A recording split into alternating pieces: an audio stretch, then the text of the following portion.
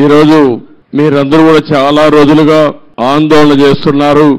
పదహారు వందల ముప్పై ఒక్క రోజులు ఆందోళన చేసి ఈ ప్రభుత్వం వచ్చిన తర్వాత మళ్ళీ అభివృద్ధి జరుగుతుందనే నమ్మకంతో ఆందోళన అజిటేషన్ విరమించారు.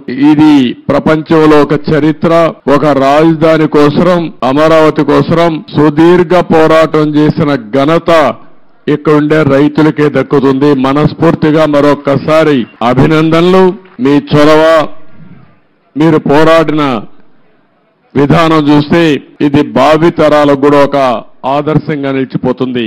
అయితే ఈరోజు నేను ఇక్కడికి వచ్చినప్పుడు అమరావతి అనగానే ప్రపంచమంతా కూడా గుర్తించే పరిస్థితికి వచ్చారు. అయితే ఈరోజు ఒక్క ఒక విషయం ఎక్కువంటే అందుకు గుర్తుపెట్టుకోవాల్సిన ఆంధ్రప్రదేశ్ అంటే ఏపీ. ఏపీ అంటే ఒక పక్క అమరావతి ఒక పక్క పోలవరం. అమరావతి మనందరికి ఒక చిరునామా ఒక ప్రజా రాజధానిగా ఐదు కోట్ల ప్రజానీకానికి ఒక దశ దిశ నిర్దేశించే రాజధానిగా మన పిల్లల భవిష్యత్తును తీర్దిద్దే రాజధానిగా ఎవరైనా ఏదైనా చిన్న పనులు చేసుకోవాలంటే ఏ చెన్నైకో బెంగళూరుకో హైదరాబాదుకో పాసి పనులు కూడా పోకుండా గర్వంగా నాకు ఒక రాజధాని ఉంది. ఇక్కడ పని చేసుకోగలుగుతానని చెప్పడానికి నిర్మాణం చేపట్టినటువంటి రాజధాని ఇది. అలాంటి రాజధాని ఈరోజు మనం చూస్తే అతలాకుతలం చేశారు. ఆ డీటెయిల్స్ కూడా నేను వస్తాను. అదే సమయంలో పోలవరం. పోలవరం దక్షిణ భారతదేశంలో ఎక్కువ నీళ్ళుండే నది గోదావరి నది. పోలవరం పూర్తి చేస్తే నదుల అనుసంధానం జరిగితే రాష్ట్రంలో ప్రతి ఒక్క ఎకరాకు నీళ్ళు ఇచ్చే అవకాశం ఉంటుంది. ఈ రెండు కూడా మనం ఒక్కసారి ఆలోచించుకున్నప్పుడు రాష్ట్ర విభజన జరిగింది. హేతుబద్ధత లేదని పోరాడాం. అన్యాయం జరిగిందని అందరం కూడా గట్టిగా నిలదీసే పరిస్థితికి వచ్చాం.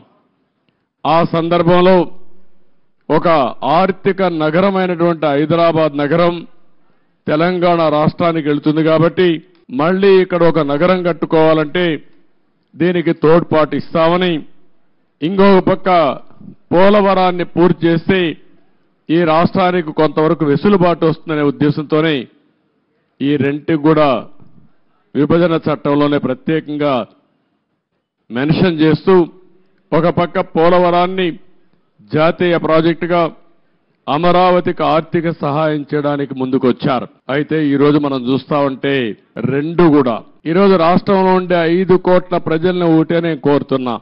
ఈ రోజు ఏదైతే మాకు ఓట్లు వేశారు ఇది ఒక హిస్టారికల్ విక్టరీ. చరిత్రలో నేను నలభై ఐదు సంవత్సరాలుగా చూశాను కానీ ఆంధ్రప్రదేశ్ రాష్ట్రం ఏర్పడిన తర్వాత భారతదేశ చరిత్రలో కూడా ఇంత పెద్ద విక్టరీ ఎప్పుడూ రాలేదు.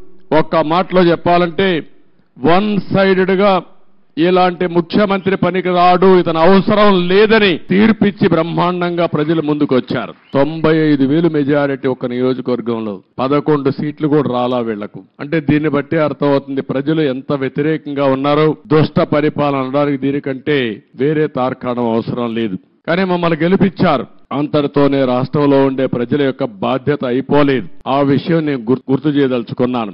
అనునిత్యం మీరు ఆలోచించాల్సిన అవసరం ఉంది. రాజకీయాలకు పనికిరాని వ్యక్తి ముఖ్యమంత్రికి అర్హత లేని వ్యక్తి. ఆ పదవి వస్తే ఏం చేస్తాడో ఐదు సంవత్సరాలు మనం చూశాం. ఈ రోజు పోలవరం గాని అమరావతి గాని వ్యక్తిగత సంపద కాదు. ఏ ఒక్క వ్యక్తికో ఏ ఒక్క వర్గానికో ఏ ఒక్క ప్రాంతానికో పరిమితమైంది కాదు. కానీ ఇది ఒక సంపద కేంద్రం. ఒక సంపద సృష్టిస్తే అది సమాజానికి పనికొస్తుంది. అదే సమయంలో వ్యక్తులు బాగుపడతారు. ప్రభుత్వానికి ఆదాయం పెరుగుతుంది. ప్రభుత్వ ఆదాయం పెరిగితే సంక్షేమ కార్యక్రమాలు చేసేందుకు అవకాశం ఉంటుంది. అదే మరి ప్రజలందరినీ సాధికార వైపు ముందుకు తీసేపోయే అవకాశం ఉంటుంది.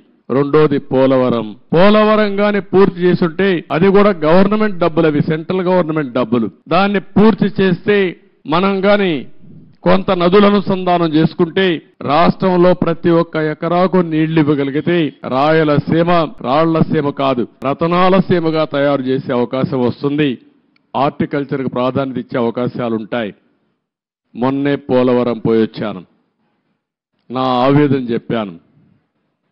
కొన్ని వందల సార్లు వర్చువల్ రివ్యూ చేశాను. ఇంకొక పక్క నేరుగా ఫిజికల్గా నలభై నలభై రెండు ముప్పై ఒక్క సార్లు వెళ్ళాను. కానీ ఈరోజు పోలవరాన్ని గోదావరిలో కలిపేసే పరిస్థితికి వచ్చారు. ఈరోజు ఏం చేయాలని అర్థం కాని పరిస్థితి. ఏం చేయాలన్న నాలుగైదు సంవత్సరాలు ఖర్చులు కూడా డబుల్ అయిపోయే పరిస్థితికి వచ్చింది. ఒక వ్యక్తి యొక్క మూర్ఖత్వం వల్ల ఒక పోలవరం వల్ల రాష్ట్రానికి ఒక వరంగా ఉండవలసిన పోలవరం ఈరోజు ఒక శాపంగా మారిపోయే పరిస్థితి వచ్చింది.